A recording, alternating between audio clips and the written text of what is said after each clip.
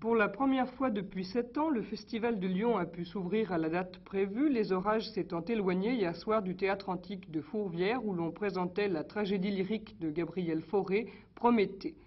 Même les répétitions préliminaires n'ont pas eu à souffrir, comme elles en avaient l'habitude, des intempéries. Ici, Vittorio Biaggi, chorégraphe attitré de l'Opéra de Lyon, règle le travail du ballet. Succès complet donc hier de cette œuvre présentée dans une mise en scène de Louis Herlot et dans un décor de Jacques Rapp et dirigée par Désiré Donden qui avait également rajeuni la partition. Les 250 exécutants de ce monument musical se retrouveront à Fourvière demain soir pour une seconde représentation.